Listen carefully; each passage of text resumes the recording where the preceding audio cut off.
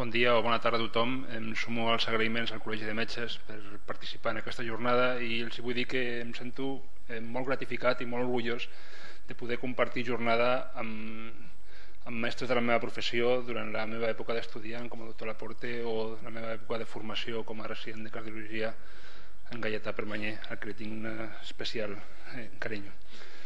També vull agrair la confiança el doctor Segura i amb el doctor eh, Varela per poder eh, participar i explicar aquesta experiència de la Comissió de Millora de la Pràctica Clínica del Consorci Sanitari de Terrassa. A la Comissió de Millora de la Pràctica Clínica el que fem és analitzar, detectem pràctiques que no aporten valor, analitzem, perdó, analitzem propostes de millora, cerquem i contrastem l'evidència científica, elaborem recomanacions, implementem bones pràctiques clíniques, avaluem els resultats, fem difusió, important, fem formació i fem un esforç addicional per aconseguir la projecció externa, com és el cas que tenim avui. Dintre de l'organigrama de la nostra institució, penseu que els membres de la Comissió de Millora de la Pràctica Clínica abarquen pràcticament tots els nivells assistencials, des de l'atenció primària fins al sociosanitari, eh, atenció social, eh, farmàcia, etc etc. I en resum, el que som són líders clínics. Avui estic aquí explicant-vos la, la presentació, però qualsevol dels membres de la comissió podria explicar els resultats que ara eh, veuran. El que fem és això, fem propostes de millora assistencial a la nostra institució. Sincerament és un repte molt important, tenim la sort de que hi ha un suport de la direcció i que la gent que hi treballa i participa té molta professionalitat. És un procés participatiu, constructiu, rigorós i obert. No som el Sant Sanedrín que ens reunim de tant en tant i fem recomanacions, sinó que obrim a la resta de la nostra institució a participar de les recomanacions i intentant evitar exercicis teòrics. Intentem evitar que passem més temps explicant el problema que posant-hi solucions. Durant els primers anys vam tenir l'ajut del doctor Jordi Varela, que és eh, amb qui vam compartir els inicis de la formació i ara doncs, eh, intentem eh, fer-ho de forma autònoma. Podeu pensar, el doctor Sánchez ens explicarà el miraculós efecte d'una construcció com aquesta. Bueno, no sé quina sensació tindreu vostès. La veritat és que al començament i durant molts anys la sensació que teníem era aquesta altra del projecte de la comissió. Per què? Doncs fixi'ns, perquè durant dos o tres anys ens vam dedicar a analitzar la situació interna de la nostra institució, tant de, a nivell de primària com a nivell d'hospitalitzada, eh, l'àmbit ambulatori, i ens vam centrar en hospitalitzacions potencialment evitables, en ineficiències en la gestió dels llits hospitalaris, cosa que afectava directament al servei de cardiologia, perdó, actuacions en el final de vida, la utilització racional de proves diagnòstiques o l'adequació de la prescripció segons patologies. Quins són els líders d'opinió interns dintre de la nostra institució? Fixin-se. Per una banda, la direcció mèdica que ens diu escolta'm, eh, ho heu de fer perquè ens interessa que trobem punts de millora. Els propis membres de la comissió, líders clínics fora de la comissió que ens fan propostes, caps de servei i gent de control i gestió, que ens ajuden a recollir les dades internes. Tot això ens ajuda a tenir una dinàmica de treball. Respecte als líders d'opinió externs, tenim altres comissions i comitès de l'hospital, com pot ser el d'ètica assistencial, farmàcia, documentació i guies clíniques, altres comissions d'altres hospitals, serveis amb visió crítica i entitats que recullen recomanacions, com pot ser el projecte essencial o pot ser el projecte Diana Salut amb qui compartim línies d'investigació. Aquesta forma és un estímul per la cooperació. I ens trobem en aquesta balança. sobre el fer o no fer.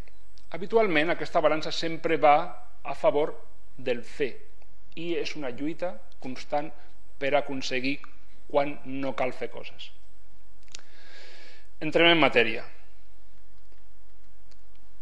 Un dels aspectes molt importants de la comissió va ser poder disposar del punt de vista dels metges residents. Jo he agafat aquesta frase perquè moltes vegades l'essencial és invisible als ulls. Quan els metges residents li van comentar la proposta d'analitzar les indicacions de la placa d'abdomen, es van quedar esparverats perquè la universitat es expliquen les indicacions i són 4 o 5, res més. I en canvi el nombre de peticions de plaques d'abdomen que es feien al nostre centre era molt i molt important. I a més a més s'ha de tenir en compte que una placa d'abdomen irradia 35 vegades més que una placa de tòrax. El que es va fer és que hi ha una evidència clara, són proves diagnòstiques amb indicacions consensuades, es va fer un anàlisi intern, un excés, havia un excés de demanda, es va formular una recomanació a la nostra institució i es va fer feedback i formació als professionals. Dades inicials, els que podem veure és que s'ha reduït en un 36% el nombre de plaques, van passar d'un 73% de plaques d'abdomen amb dubtós valor clínic a un 40% actual i continuem treballant. Després, si, si algú interessa, li explicaré què és el que hem fet per aconseguir això. Eh? Per exemple, empaperar tot urgències empaperar amb les recomanacions. Un altre, un altre punt important va ser treballar les eh, proves preoperatòries. Aquí l'important va ser el lideratge i la gestió del canvi. Per què? Perquè ens trobàvem entre dos aspectes molt contraposats, entre el que deien les guies de pràctica clínica i el circuit establerts, establerts perdó, pràctica habitual i una cosa molt important, els protocols que no estaven actualitzats. Va ser necessari aconseguir un suport d'informàtic i de control de gestió per trobar les dades que necessitàvem i es va fer una formació de tot l'àmbit quirúrgic. Al final, aquesta cosa tan senzilla que és una matriu de 3 o de 4 per 3, això va ser l'origen de la resolució del problema. Fixis. Una altra recomanació fruit de l'essencial, les plaques de tòrax preoperatòries són proves que no suposen cap millora i no són inocues.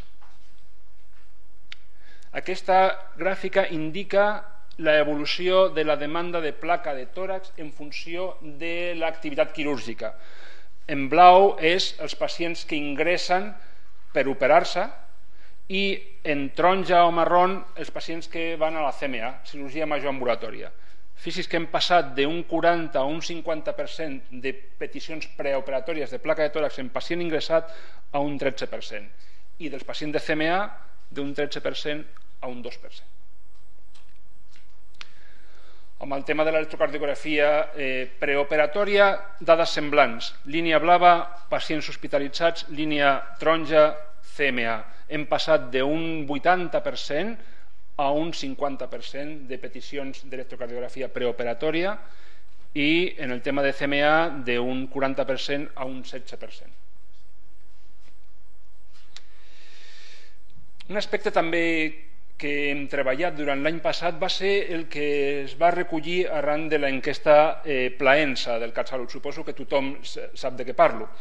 Però en aquesta enquesta una de les coses que ens va sobtar era el que deien els pacients sobre el tema del descans nocturn, vale? presa de constants, eh, donar la medicació, els carros de medicaments, d'infermeria, etc etc. I hi ha un projecte liderat per infermeria en el que es canviarà l'hora de presa de constants d'acord amb criteris clínics. D'acord?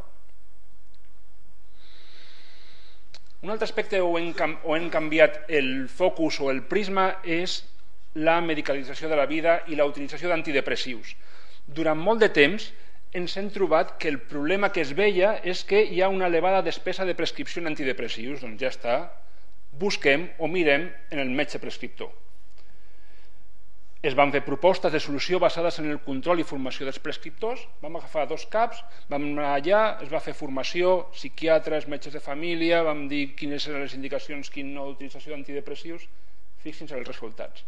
Pràcticament no va canviar en el nombre de receptes i la reducció en el preu és pràcticament inexistent.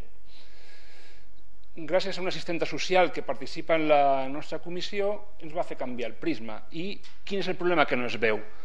Doncs la prescripció social. Anem, intentem desmedicalitzar aquests problemes. Treballem la confiança del pacient i de la societat, posem en valor el pacient i la comunitat i estem començant, ja us explicaré més endavant potser en un altre foro els resultats, però treballem conjuntament treball social, psiquiatria, atenció primària i farmàcia en aquest tema, la prescripció social en situacions de la vida. Un altre aspecte que mirem de treballar molt és la formació dels professionals, tant dintre de la comissió com de comissions que treballen constantment amb, amb nosaltres. I ens hem centrat darrerament en la millora de processos assistencials. Els poso un exemple. Potser no és el millor foro per explicar quin va ser l'èxit d'aquesta empresa, que no diré el nom, però hi ha aquesta pel·lícula que és molt interessant per fer-nos veure com podem canviar processos assistencials a nivell sanitari. Darrerament hem treballat eh, membres de la comissió diferents processos assistencials i utilitzem metodologia Lean per millora de processos. N'hi ha d'altres centres, com per exemple el Brogi, crec que també estan eh, utilitzant molt aquest tipus de metodologia per millorar processos assistencials i nosaltres ens hi hem afegit. Ja estic acabant. Quines són les fortaleses de la comissió? És una aposta de la institució Treballem amb rigorositat, amb transparència. És un treball participatiu. Intentem aprendre i, sincerament, és una inversió de futur. Dificultats. La càrrega de treball que tothom tenim. El factor temps que tothom tenim. Moltes vegades hi ha recomanacions que no hi ha molta evidència disponible, hi ha limitacions en l'evidència científica depenem molt de sistemes d'informació i un tema molt important són les inèrcies i les resistències de molts professionals. No els explicaré el que ha costat en l'àmbit quirúrgic canviar dinàmiques de treball en les avaluacions preoperatòries. Suposo que es poden imaginar. Quines són les perspectives? Avaluar continuadament l'impacte de les nostres recomanacions, la comunicació, potenciar la recerca en aquest aspecte, intentar consolidar-nos i coordinar-nos a nivell multicèntric. Aquesta és la meva darrera diapositiva. En resum, a la comissió intentem potenciar el lideratge clínic implicant els professionals que hi treballen. Els residents, entre d'altres, és una part fonamental de la nostra comissió. També és fonamental interaccionar amb altres comissions dintre i a fora del nostre centre. Hem canviat en molts aspectes la visió del problema. Intentem humanitzar, socialitzem la medicina. Intentem ser rigorosos i formar-nos. I bueno, sempre que diem hi ha la possibilitat de manca de temps, bueno, la gent que estem dintre de la comissió el que els hi posem és molta passió. Moltes gràcies i espero que...